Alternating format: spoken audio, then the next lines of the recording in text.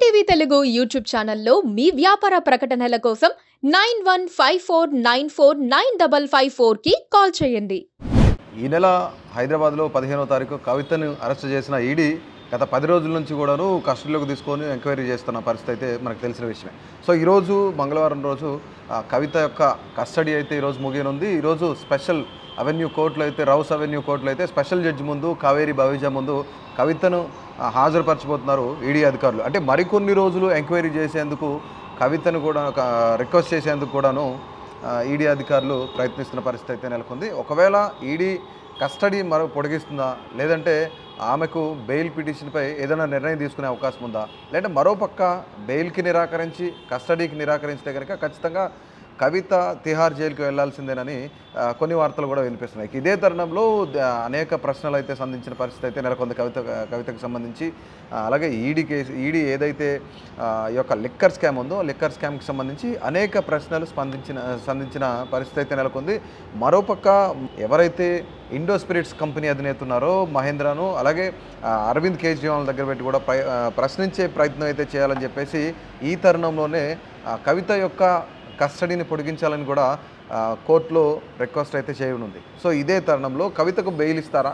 లేదంటే ఈ యొక్క ఎంక్వైరీ చేయడానికి కస్టడీని పొడిగిస్తారా? లేదంటే తిహార్ జైలుకి పంపిస్తారా అనేది కూడా కొన్ని ఆసక్తికరమైన విషయాలు అయితే ప్రస్తుతానికి ఉన్నాయి. అంశం చూసుకున్నట్లయితే ఇద్దరిని కలిపి ప్రశ్నించే అవకాశం అయితే కనిపిస్తుంది. ఇద్దరిని అంటే ఇండో స్పిరిట్స్కి సంబంధించిన మహేంద్రను అట్లాగే కవితను కూడా ఇండో స్పిరిట్స్కి సంబంధించిన అధినేతను కవితను కూడా ఇద్దరిని కలిపి ప్రశ్నించే అవకాశం ఉంది. ప్రశ్నించే సమయంలో కూడాను వీళ్ళిద్దరి యొక్క వీడియోను కూడా రికార్డ్ చేయాల్సి రికార్డ్ చేయాలి అని కూడా ఈడీ భావిస్తున్న పరిస్థితిలో నెలకొంది. ఇదే తరుణంలో వీళ్ళిద్దరిని పక్కన పెడితే ఒక పక్క కేజ్రీవాల్ను కూడాను ఆ కేజ్రీవాల్ యొక్క కస్టడీ శుక్రవారంతో ముగియనుంది కవితది ఈ రోజే ముగియనుంది కాబట్టి ఖచ్చితంగా కస్టడీకి మరికొన్ని రోజులు పొడిగించే అవకాశం ఉండేట్టుగా కనిపిస్తుంది. ఎందుకంటే ముఖ్యంగా కేజ్రీవాల్ను కవితను ఇద్దరిని కూడా ఒకే దగ్గర పెట్టి ప్రశ్నించే పరిస్థితిలో విరుద్ధంగా సమాధానాలు చెప్పే అవకాశం ఉంది కాబట్టి డెఫినెట్లీ ఇదంతా కూడాను రికార్డ్ ఆన్ రికార్డ్ చేసే అవకాశం అయితే కనిపిస్తుంది కెమెరాకి.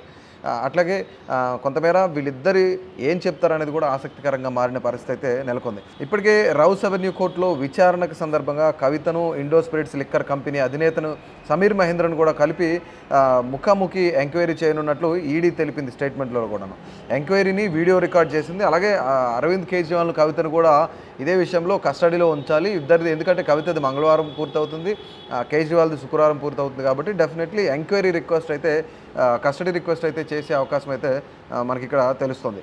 ఇక మనం మొత్తంగా చూసుకున్నట్లయితే జడ్జి నిర్ణయం పైన కొంతమేర ఆసక్తికరం నెలకొంది. ఎందుకంటే ఒకవేళ ఇప్పుడు కస్టడీని కస్టడీ పొడిగిస్తే కనుక డెఫినెట్లీ ఈ యొక్క కస్టడీలో అరవింద్ కేజ్రీవాల్ను కవితను ఇద్దరిని కూడా పొడిగించే అవకాశం కనిపిస్తుంది. ఇద్దరు ఇద్దరిది ఇద్దరిని కూడా ప్రశ్నించే అవకాశం కనిపిస్తుంది. ఇది వీడియో రికార్డు. ఇంతకుముందు గతంలో సమీర్ మహేంద్రను ఎట్లయితే వీడియో రికార్డ్ చేస్తామని చెప్పారో ఇప్పుడు కూడా కేజ్రీవాల్కి కవితకు సంబంధించి అలాగే ఎందుకంటే గోవాకు సంబంధించిన ఎలక్షన్స్లో ఈ వంద కోట్ల ముడుపులు అక్కడ ఖర్చు పెట్టారు. ఏదైతే కవిత నుంచి వచ్చిన వంద కోట్ల ముడుపులు ఉన్నాయో ఇవన్నీ కూడా ఇండోస్పిరిట్స్ సౌత్ సౌత్ సౌత్ కంపెనీకి సంబంధించి వీళ్ళ యొక్క సౌత్ గ్రూప్కి సంబంధించిన మనీ ఏదైతే ఉందో ఇదంతా కూడాను ఆమ్ ఆద్మీ పార్టీ నేతలు గోవా ఎలక్షన్స్లో ఖర్చు పెట్టారని కూడా కొంతమేర ఎలిగేషన్ వచ్చింది. సో ఇదే తరుణంలో కవితకు జడ్జి కస్టడీ పొడిగిస్తుందా? లేదంటే ఈ పొడిగించకపోతే కనుక డెఫినెట్లీ ఎవరైతే కవితకు సంబంధించిన న్యాయవాదులు ఉన్నారో వీళ్ళందరూ కూడాను బెయిల్ పిటిషన్ వేయడానికి రెడీగా ఉన్నారు. సో ఒకవేళ బెయిల్ ఇస్తే కనుక డెఫినెట్లీ బెయిల్ బెయిల్ గురించి ఆలోచించ ఆలోచిస్తారా? లేదంటే ఈ రెండు నిరాకరించి తిహార్ జైలుకి పంపిస్తారా అనేది కూడా కొంతమేర ఇక్కడ ఆసక్తికరంగా నెలకొంది. ఎందుకంటే ఇప్పుడు కస్టడీ ముగిసిన తర్వాత ఐదర్ జైలు కన్నా పంపించాలి లేదంటే కస్టడీ పొడిగించాలి లేదంటే మరొక ఆప్షన్ ఏంటంటే బెయిల్ ఇవ్వాలి. ఈ మూడు ఆప్షన్స్లో జడ్జి ఏది తీసుకుంటారు. ఎందుకంటే ఇప్పటివరకు ది- ఈ కేసుకి సంబంధించి అరవింద్ కేజ్రీవాల్కి సంబంధించి ఎలాంటి ఆయన ఎలాంటి సమాధానాలు చెప్పిన పరిస్థితి లేదు. సో ఈ ఈడీకి కూడా ఆయన సహకరించలేదనే పరిస్థితి నెలకొన్న తరుణంలో కవితకు ఏం చేస్తారు కవితను ఏం చేస్తారు అనేది కూడా ఇంకా స్పష్టత రావాల్సింది. దీంతో బెయిల్ పిటిషన్ కూడా ఈ కోర్టులోనే కవిత దాఖలు చేసుకోవాల్సి ఉంది. ఎందుకంటే ముఖ్యంగా ఇప్పుడు బెయిల్ పిటిషన్ కోసం సుప్రీంకోర్టులో కవిత బెయిల్ పిటిషన్ వేయడం జరిగింది. దాన్ని సుప్రీంకోర్టు కూడా నిరాకరించి మీ ఏదైతే కోర్టు రౌస్ అవెన్యూ కోర్టు ఉందో ఆ కోర్టులోనే తేల్చుకోవాలని ఖచ్చితంగా సుప్రీంకోర్టుకు సంబంధించిన కేసు కాదు కాబట్టి రౌస్ అవెన్యూ కోర్టులో మీరు మీకు బెయిల్ వస్తుందా? కస్టడీలో ఉంటారా? లేదంటే తిహార్ జైలుకి పంపిస్తారనేది మీరు ఆ కోర్టులోనే తేల్చుకోవాలని ఇప్పటికే సుప్రీంకోర్టు ఫైనల్ చేసిన పరిస్థితి నెలకొంది.